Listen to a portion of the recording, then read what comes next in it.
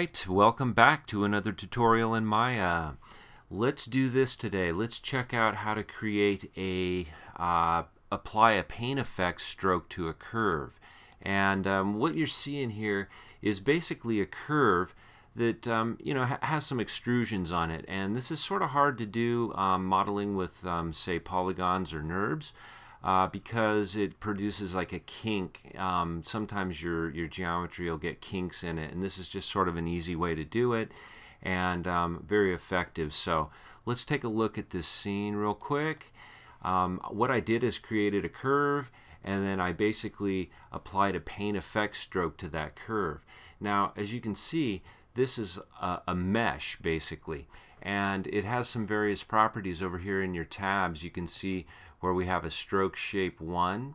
Well, what I've done in this, and this is what you have to understand about this um, process, is you have to set all of these points to make it extrude along, uh, along this um, curve. So over here, you'll notice that you have pressure scale settings, and that's what we're going to be working with today. And you can see I have a lot of little points set here. This is the small view. If I want to enlarge it, I'll just bring it up like that and um, you know you can see where I have a whole bunch of different points set here um, which correlate to um, various pieces of this geometry. So if I were to say select one of these and let's see if we can see it in action I'll bring this down. You'll notice that right up here in this portion of the scene um, as I alter that a little bit you can see it changing. It's probably not such a good view but let's look at a different one. There's one down here. Okay, you'll notice this area down here as I work this um, little point that I set. Um, you can see it changing and you can modify things and do all sorts of crazy stuff with this uh, pressure scale. So let's create this. I'll walk you through the process and we'll try and make it brief. There's a lot to cover, so let's get going. Okay, I'm just going to minimize that for the moment. And um, let's come in here and let's just uh, create a, a new scene. Okay, I'm just going to go for a new scene.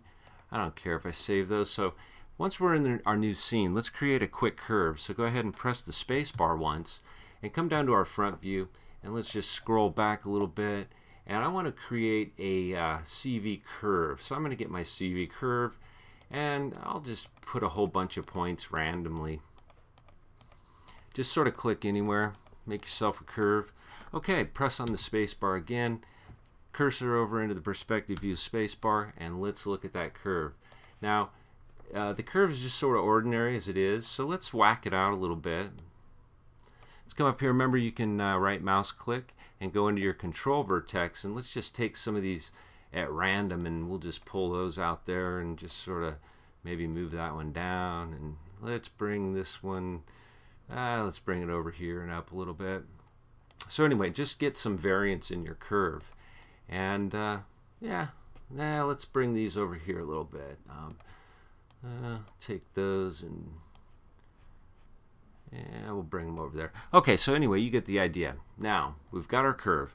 Uh, let's do this. Let's let's look at the curve as an object. So right mouse click, go back to your object mode, and uh, there it is. Okay, now what we want to do is let's look at where this center pivot is. And let's just um, take our center pivot on the curve and let's modify it and let's just center it. So we're going to just center that center pivot.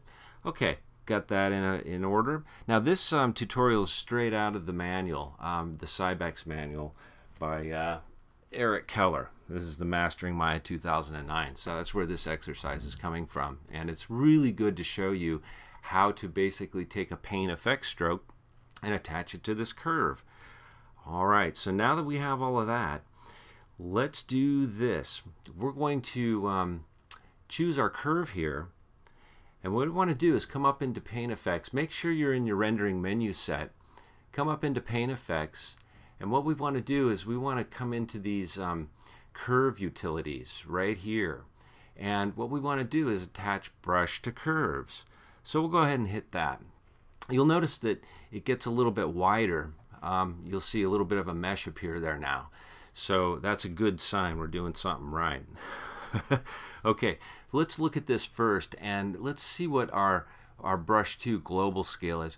Right now it's set at 5. I kind of like to bring that up a little bit And right now it's at 9.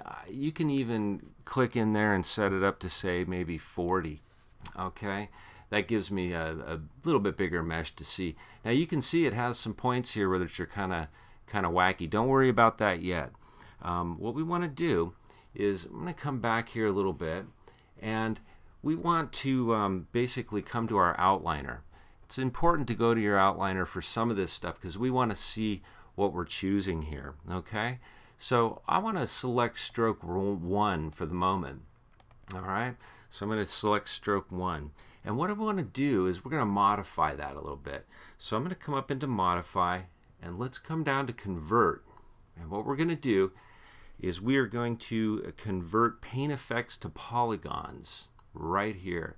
So just go ahead and click on that.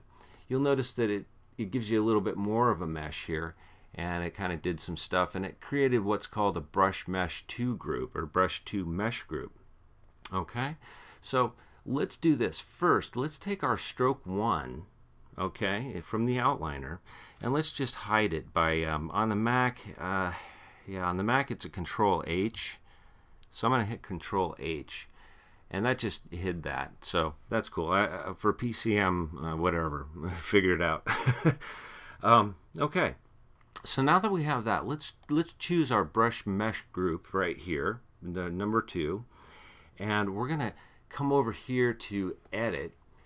All right, and what we want to do with that is we want to ungroup it basically. So I'm going to come down to my ungroup option right here and ungroup. Okay, and basically that just disconnected it and we're ready to do some more stuff. So we're going to rename this brush 2 main shape right now. Okay, and we're to just call that hose 1. So I'll call it hose 1. Okay, and we're good to go. So now let's um, let's just click outside of there. And you can see where we have our hose 1 here. And it's going to be underneath this brush 2 main. So we'll select hose 1 right there. And let's just maybe let's see on hose 1 let's assign it um, a Lambert. So it should have one connected to it but um, for the moment we'll just um, come over here and assign an, an existing material and I'll do that Lambert one that should work for now Okay, so now we're halfway there. All right, what we want to do is we want to get back into this um, outliner and we want to select this stroke one, okay? And underneath here, you'll see we have some other, um, you know, attributes to uh, mess with here. We can go to our brush two, we can mess around with the global scale, but right now, what we're interested in is we want to go to this twist section. And what we want to do is we want to activate the forward twist. All right, and I'm going to just come over here and see it in a solid view. So when you activate the forward twist, um, basically what that does is it orientates everything toward the camera. Um, and that's something you have to be aware of um, that it just gives you options to orientate that toward the camera so um, or orientate other things growing along that stroke but we're not really uh, concerned with that at the moment. All right. So let's just activate forward twist and keep it on. And then um, we could uh, come down to smoothing. Okay. That's going to be um, under, we want to set the smoothing to 10. So let's look at our brush profile, our brush width. Oh, another thing is you can take your brush width up or down from here as well. So you can alter the, the scale of things on there as well. So anyway, just something to be aware of. Um, yeah, so for the most part, that's what we want right now. Um, smoothing, um, usually you can set smoothing to 10, and smoothing is uh, under your stroke shape 1. So smoothing will basically just smooth that mesh out a little bit and give you a little bit better um, contouring around your twisty points, basically. So, all right, there we go.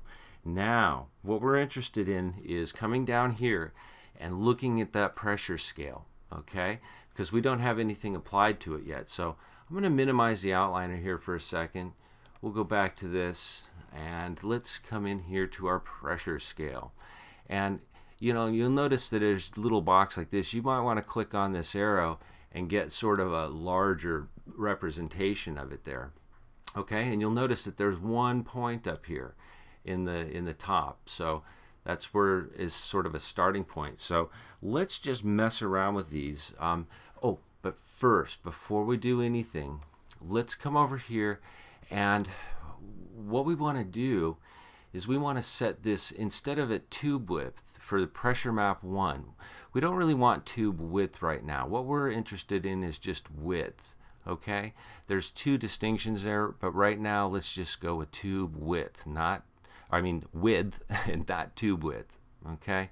So we'll switch that up like that okay now we're ready to kind of edit these points. So let's just at random let's click on some of these in here and set some points just to, to start playing with.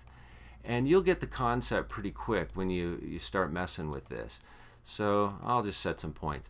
Now what I want to do is for the moment I'm going to turn this from linear to none okay? And that'll just give us a real straight extrusion. Um, but you basically have to set all of these points and let's see if we can sometimes you can see what's happening as you move these. See what's happening as I, as I move these points down? Right now, since it's set to linear, it's just basically giving it a drop off. Um, it's sort of creating an intestine-like uh, organic uh, twist. So anyway, that's kind of what you want to be aware of there. Now, if it's set to none, like it is now, you'll notice that these turn into more hardened edges. So like let's say for example I start here and set this one to none. Alright, and I come over here, or actually let's do this one, and switch them all from linear to none. Okay, uh, we'll switch that one from linear to none, and let's do that one from linear to none, and we'll take this one to none, Okay, so now we have some points here. I'm going to put a point right here by clicking, and I'm just going to switch that linear to none, and we'll move this one out and kind of look at it on the graph. Okay, now you can see where there's going to be some various things happening. I'm going to um, alter this one a little bit, and you'll see where um, you know it, it, it takes on that shape. Um, let's get a full usually you want to set, if you're doing just tube-like extrusions um, that are basically hard-edged, you'll want all of these set to none. Alright, so you just basically click on them and set them to none. And let's do that one. That one's at none. Let's set this one to none. And you can see where it, it alters the shape on the graph a little bit too to give you a representation of what it should look like. So now that we have those set, um, let's uh, let's play with them. Um, you'll you'll see where on on the uh, viewport here. Uh, let's see. I'll play around with these. You can kind of see what it does. Um, this one is set to linear, so let's set this back to none. But you get the idea. Um, that's how you start doing these these various extrusions, and this is how you control them. So. It's real fun to play around with. Um, there's lots of different variations you can do. Uh, you, you can set these down as many points as you want. And you'll notice things happening as you start um, adding more points and making more edits. Uh, let's bring that down a little bit. This is how you do it. So let's bring that down. Okay, so essentially I hope you get the idea. That's how you work with this and that's how you create quick extrusions. Now I'm going to do more tutorials in the future uh, which sort of explain this a little better but essentially that's what you want to be looking at um, is just this process of how to extrude on this tube. So uh, I hope that's clear. I know it's kind of convoluted but that is Maya sometimes. So anyway, uh, there it is way to whack things out. Okay, well, thanks for watching, and um, as always, read a book and um, have a great day.